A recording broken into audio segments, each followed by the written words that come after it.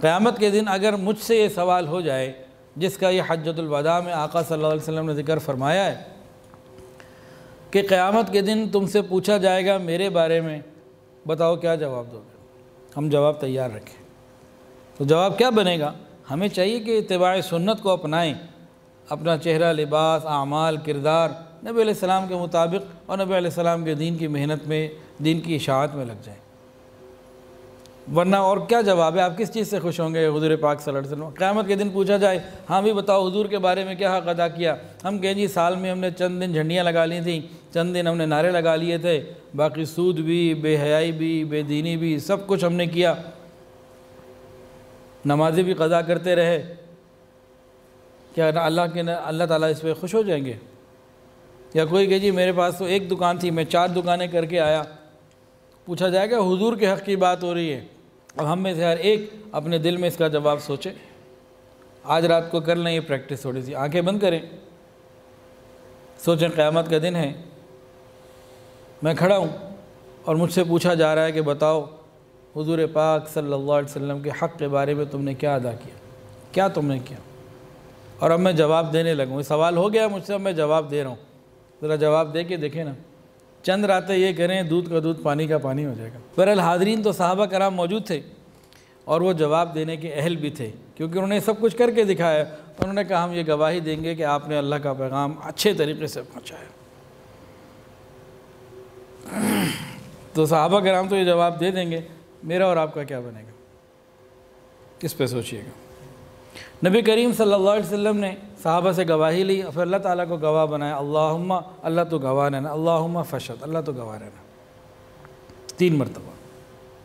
پھر نبی علیہ السلام نے فرمایا کہ جو حاضرین ہیں، غائبین تک میرا یہ پیغام پہنچا دیں۔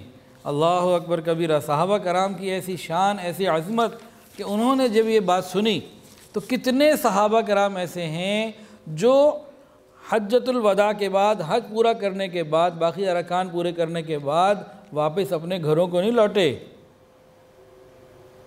نبی علیہ السلام کا دین پہنچانے کے لیے ساری دنیا میں پھیل گئے صحابہ کرام کی تعداد سوا لاکھ۔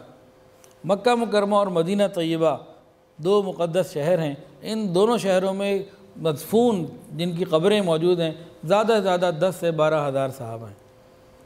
باقی ایک لاکھ سے زیادہ پوری دنیا میں پھیل گئے اللہ کا پیغام پہنچانے کے لیے۔ بعض طور میں اپنے گھر بھی گئے، اپنے قبیلوں میں، اپنے علاقوں میں بھی گئے، لیکن بہت بڑی تعداد ایسی تھی جو فقط اس نیت سے نکلے کہ مجھے نبی علیہ السلام کی اس بات کو پورا کرنا ہے۔ اور غور کیجیے، جہاں جہاں تک صحابہ کرام گئے نا، وہیں تک آج بھی دین ہے۔ اس پہ کبھی غور کریں، جغرافیائی طور پر صحابہ دیکھیں کہاں کہاں پہنچے، بس وہیں وہیں تک دین پہنچ سکا۔ اس کے بعد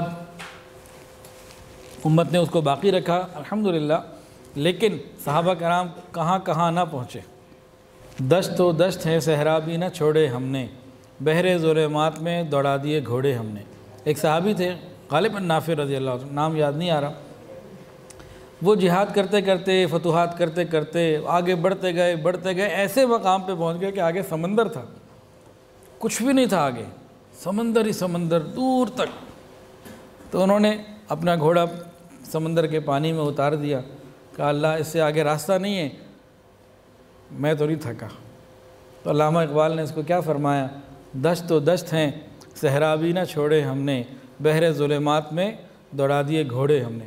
بحر ظلمات اس کو کہا جاتا تھا کہ اس سے آگے جو جاتا تھا، موت ہی تھی، واپسی کوئی نہیں تھی۔ آگے اندھیرے ہی تھے۔ تو وہاں تک پہنچے، ہر طرف پہنچے دنیا کے کونے کونے پہ پہنچے اللہ کے نبی کا پیغام لے کے۔ تو ہم بھی تو اس کی فکر کریں۔ ویڈیو کے نیچے سبسکرائب کے بٹن پہ کلک کریں، بیل کے آئیکن پہ کلک کیجیے تاکہ ہر نئی ویڈیو کی نوٹیفیکیشن آپ کو مل جائے۔